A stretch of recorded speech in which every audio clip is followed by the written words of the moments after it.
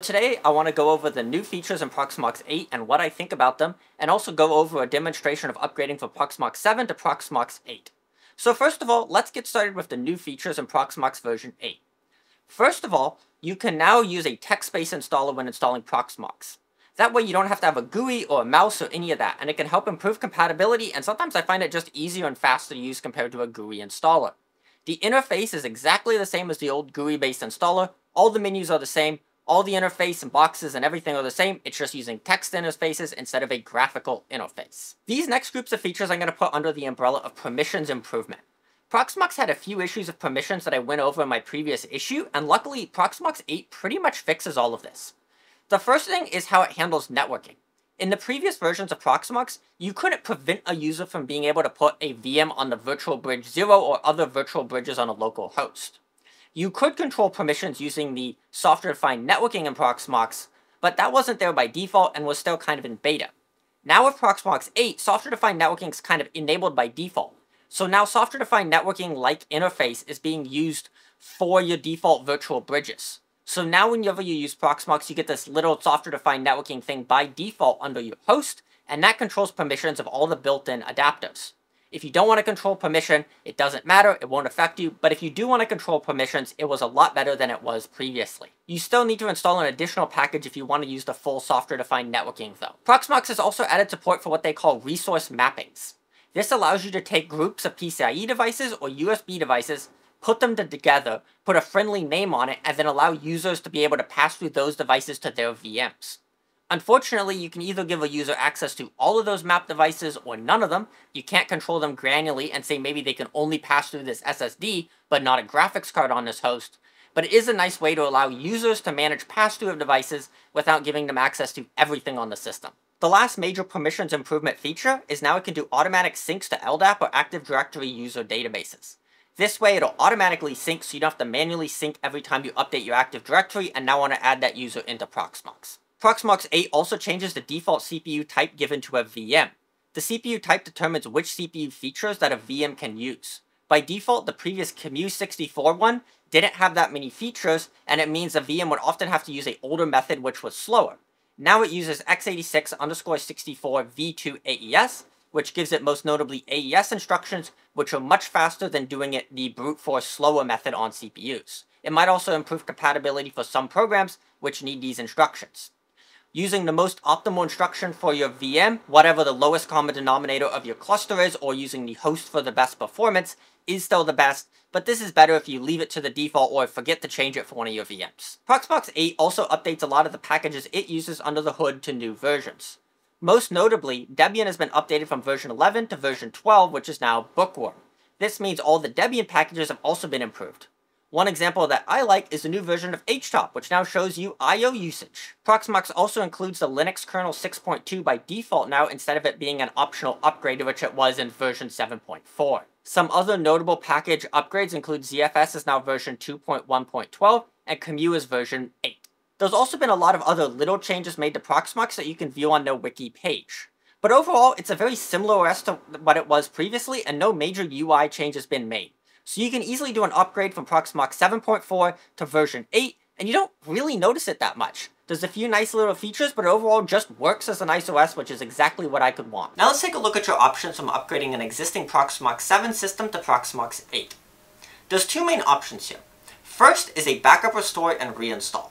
This will involve making a backup of all of your VMs and containers on the system, reinstalling Proxmox 8 onto the system, and formatting all the drives, and then restoring the backups for all of your VMs and containers.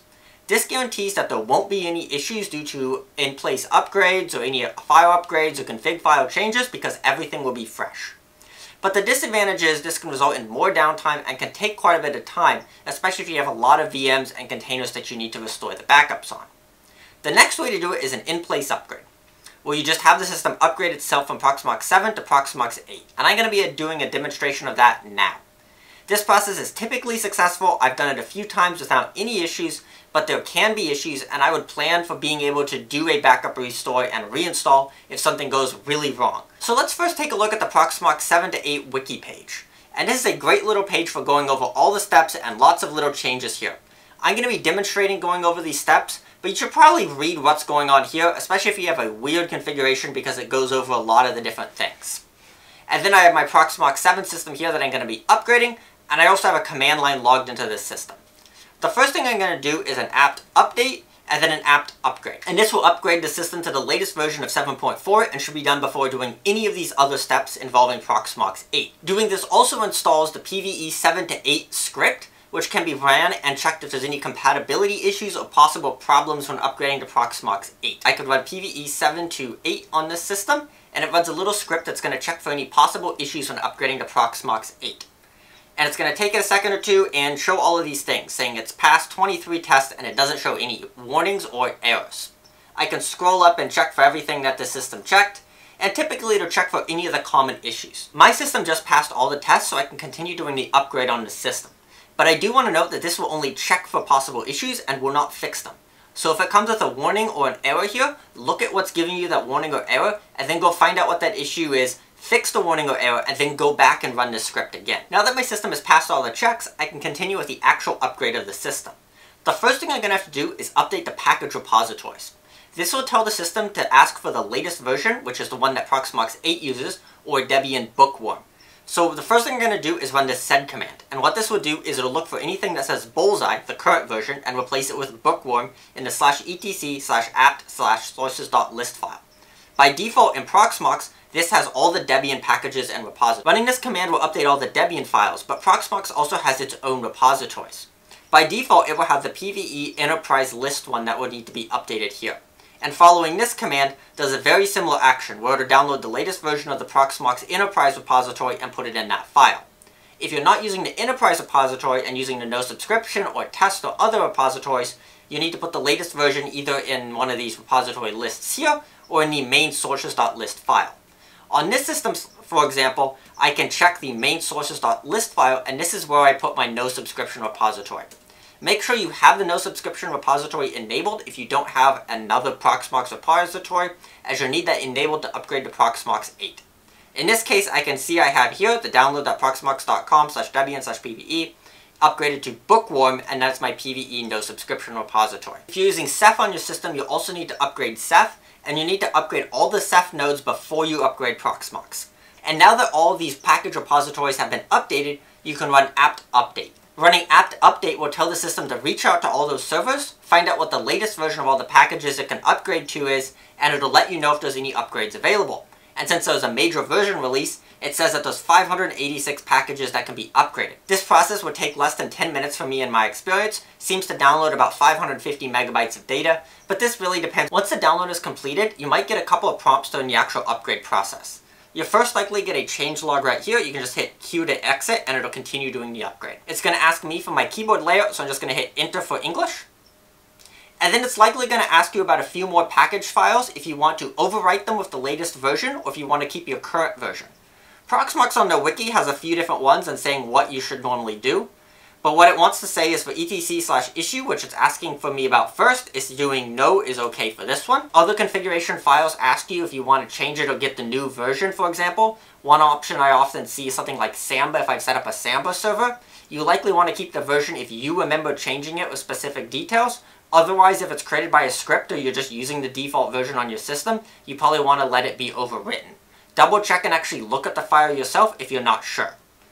Another prompt I got on the system is if I want to restart any packages during, without asking, and I'm going to say yes because this system isn't running any VMs or anything else important, so it can restart whatever it wants during the actual upgrade process. Here it is prompting me about SSHD having a new version. SSHD is the SSH server, so that's what I'm actually logged into right now. I'm going to say install the package maintainers version because I haven't modified that package at all, so I might as well have the newer version if anything's changed in the default configuration. And now that my system is rebooted, the update is completed. If I take a look at the system, I can see it says Proxmox Virtual Environment 8.3.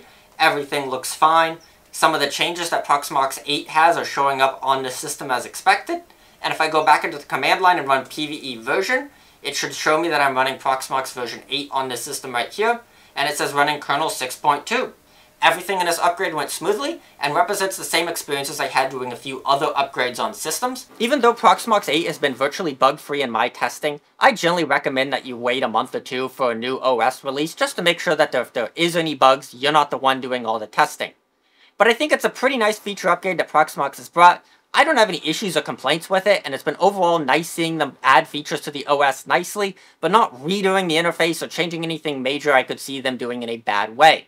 Let me know what your thoughts on Proxmox 8 are in the comments below, and if you've tried using it, what your experiences are. Thanks for watching.